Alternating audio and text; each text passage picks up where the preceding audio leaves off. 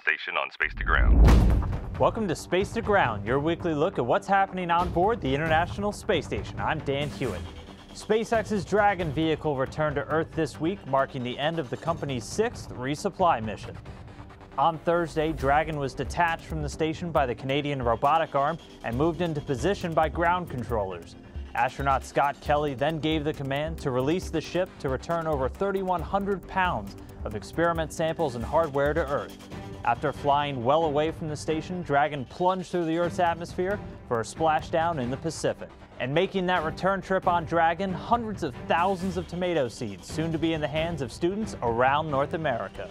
The Canadian Space Agency's Tomatosphere 3 experiment exposed 600,000 seeds to the space environment.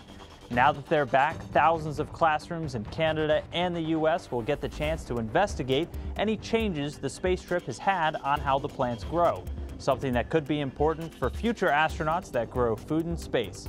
To learn more, check out the project's website at tomatosphere.org. This week, our first grade friends with Project Discovery want to know who is the youngest person to visit the space station. Well, the title of first ever first grader in space is still up for grabs, as the youngest station visitor ever was a few years out of school by the time he went. Spaceflight participant Mark Shuttleworth from South Africa was only 28 years old when he flew to the station back in 2002.